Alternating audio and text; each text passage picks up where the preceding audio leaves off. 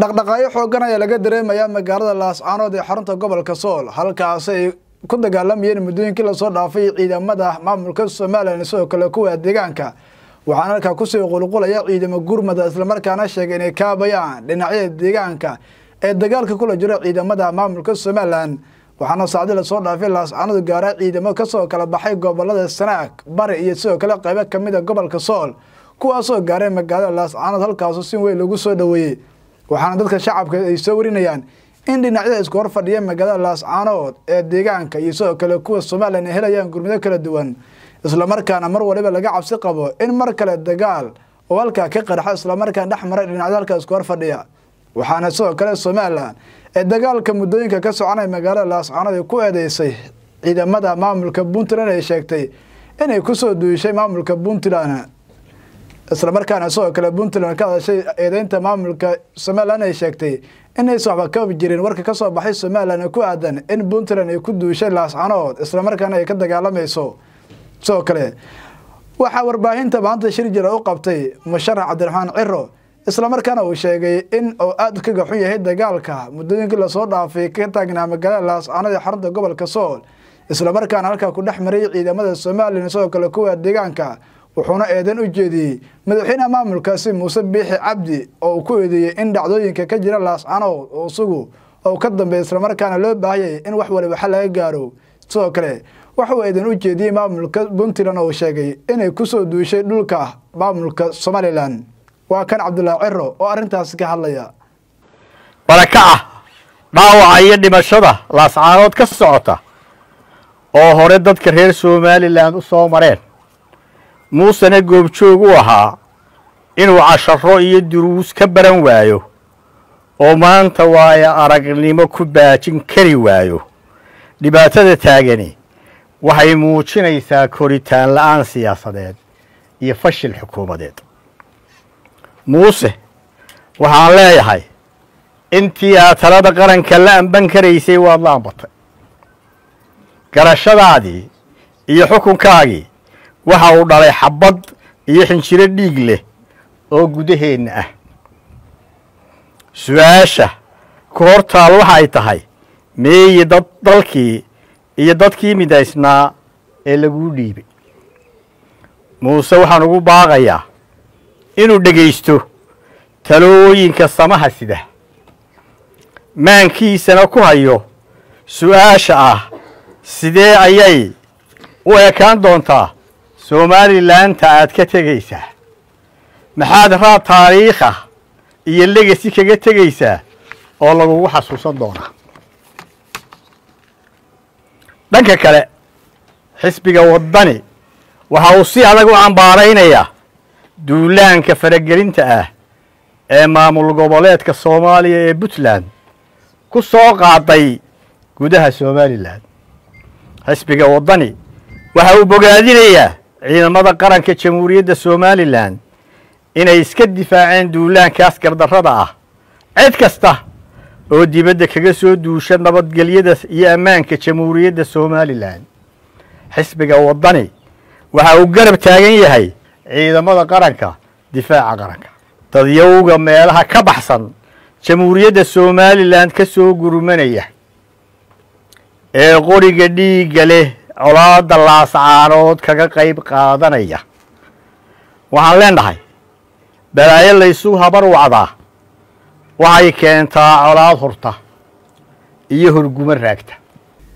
Dhanka kalena xildhibaanada golaha shacabka baarlamaanka dalka ayaa maanta yeeshay mid ka mid a kulamadooda caadiga ay kaga hadlayeen ajedooyin dhowr oo horyaala balse maanta waxaa kulankooda hariyey buuq kadib markii xildhibaanka qaarkood ay hadallo kula isu dhaafsadeen warbixintan waxaa ku eegaya werihiga cabdiqaadir kaarta xildhibaanada golaha shacabka ee baarlamaanka soomaaliya ayaa waxa ay maanta xarunta shirarka ee villa hargeysa ku yeesheen mid ka mid ah kulamadooda caadiga ahaa waxaana shir guddoominaysay guddoomiye ku-xigeenka koowaad ee golaha sacadiye yaasiin xaaji samatar oo wehlinayay guddoomiye ku-xigeenka labaad ee golaha shacabka xildhibaan cabdulaahi cumar abshirow ajadaha kulanka maanta ee golaha shacabka ayaa waxa uu ahaa ka doodista warbixinta akhrinta labaad ee hintasharciyeedka la dagaalanka argagixisada oo ay horkeentay wasaaradda amniga soomaaliya. Hayeeshee ka hor furitaanka kulanka ayaa waxa uu buuq ka dhashay mooshin ay keeneen xildhibaanada haweenka ah kuwaas oo dalbanayay in fursad loo siiyo in ay guddoon doortaan. Xildhibaan seynab caamir iyo xildhibaan qaali shire ayaa dood xoogan ay ku dhex martay golaha taasoo ugu dambeyn dib u dhigtay waqtigii furitaanka kulankii maanta ee golaha shacabka. Ku-xigeenka labaad iyo baarlamaanka sharafta le meesha fadhiyo iyo saxaafadda iyo shaqaanaga annagu waxaan nahay xildhibaano soomaaliyeedaan nahay. War aniga haweenka waa la wareeriyeen. Waxa weeye waxaa meesha taagan. War raggii isma haystaane annaga maxaa u kala sarreynaa? Haddii wax la dhisanayo haddii wax la dhisanayo guddoon baan leenahay. Guddoomiyaa joogta matalaysa haweenka oo ku soo gashay magaca haweenka. Anima dhahay wuxuu ku soo gashay. Tartana ka gooshay waa ogtahay guddoomiyaha tartankeeda dadkii waday oo karaamadii sharafta lahaabaa gabdhaha ka mid ahaayeen. Aniga toban gabdhooda meel isku ururisay. Inay liis qoraan ee yidhaahdaa kokos waxyaa kokos ma jirto. Haddii hal xubin maqanta hal gabar waxaa la rabaa labaatan iyo sagaal xubnood inay kokosa ka soo qayb gasho ee wax isdoortaan gabdhow qaskaa wadin joojiya naaga cusub gabdho cusub hadda barnaanka soo gala tihiin. Annagana ma hogaamin kartaan. Annagana ma hogaamin kartaan. Annagana ma hogaamin kartaan. Ee maqla annagana ma hogaamin kartaan. Xilkiinaha ka dheereenina guddoomiye waxaan kaa codsanayaa. Haddaada foodo maanta ka ribin.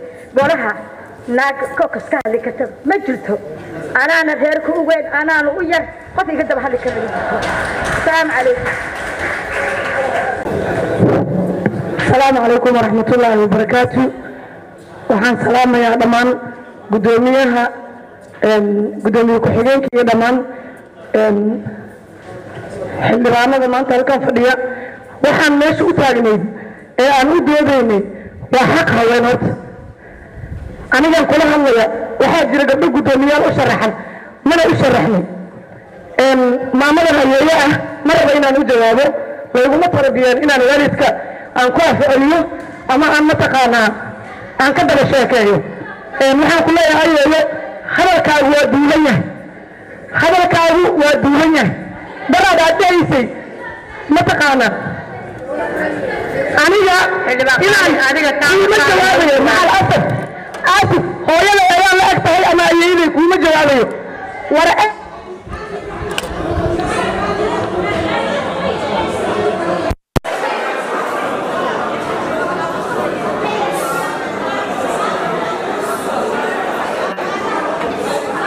intaas kadib xildhibaanada golaha shacabka ee baarlamaanka federaalka ah ee soomaaliya ayaa dood xoogan waxa ay ka yeesheen hindi sharciyeedka la dagaalanka argagixisada waxaana xildhibaanada ay mid mid dul istaageen qodobada qaar ee u baahan in wax laga bedelo iyo kuwa markaasi la doonayo in lagu soo kordhiyo sharciga. Qodobka soddon iyo labaad meesha uu leeyahay sharciga maamulka hanti la wareegista meeshaas. Horta waxay dhaheen guddigu khubaraan la tashanay rag amniga ku jira. Waxaa laga maarmaan culumana inay ku jirto. Waa laabudda. Weliba xildhibaan daahir amiin jeesow halkan ka akriyey wuxuu yidhi sharcigan isaga dhammaantiis waa wada xukun. Dad in ta la xukumo haddana culummadoodii iyo afti dadweyne in la qaaday bay ahayd marka hadday culummadii meesha ka maqan tahay waa arrintaas waa aaday muhiim u tahay in noomana sheegin ayaga hadda inay culummo la fariisteen. Meesha waxaa ku qoran hanti la wareegista waxaa la leeyahay waxaa lala wareegayaa hantidiisa. Raalle ahow isku mid aan nahay annaga dhan.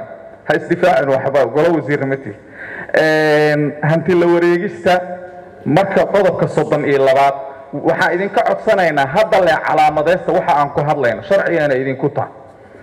Qodobka soddon iyo labaad hanti la wareegista marka uu ka hadlayo waxaa la leeyahay waxaa koox iyo qof kooxda hantida loo ururiyey ama ay maamulaan ha lala wareego anigu ma diidani.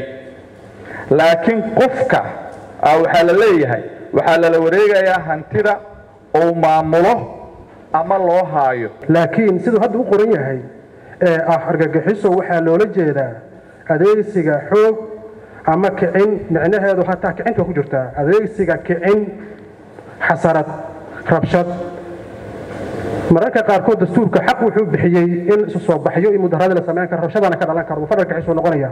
Qeexitaanka xildhibaano badanaa ka dhawaajiyey in lagu noqdaan qabaa intaana kuma filmo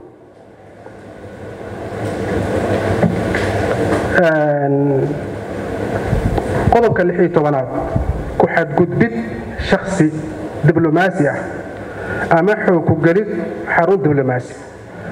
Ku xadgudbid shaksi diblomaasi ah shaksiga xsaanada leh in la ilaalisho waa sax laakiin caqabadaha maanta dalkeenna ka jira maalin kastaba qof diblomaasi ah iyo askari ayaa is haystaa lagana yaabay diblomaasiga inuu qaldan yahay. Mararka qaarkood waana dhacdaa. Qodobka asigaana faahfaahin iyo si kale loo bedelo u baahan yahay ma askarigii si qaldan loola dhaqmo? Hadduu dee hor istaag ama si uun ku sameeyo ninkii diblomaasiga ahaa askariga maciqaab oo la kulmaya arrinkaa naftigiisana waxaan rabaa inaad guddigu calaamaysataan caddaysaan.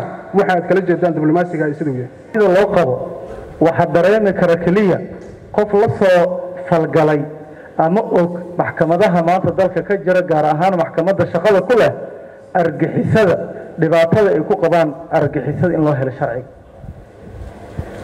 in badan waxaan goobjoog u ahay toddoba sano oo aan xeer ilaali ku-xigeen ka ahay maxkamadda ciidamada qalabka sida inay argixisadu u nugleed in sharciga ka baxsadaan iyadoo sharcigan uu markaas uu jilcnaa sharcigan lagu wajahay labadii sharci soo baxay oo laga hirgeliyey xilligaas dalkaas oo gumaysihii dalka markaas laga yimid ayaa lagu wajahaya argixisada.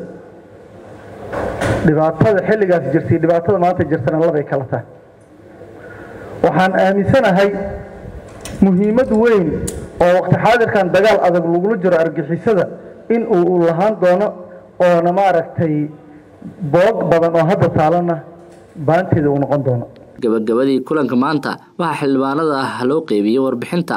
Akhrinta labaad ee sharciyada kale ah dhowrista xogta maareynta deegaanka iyadoo la filayo in dhowaan sharciyadaasi oo dhowr ah iyo kuwo kaleba golaha shacabka la horkeeno si ay dood kaga yeeshaan.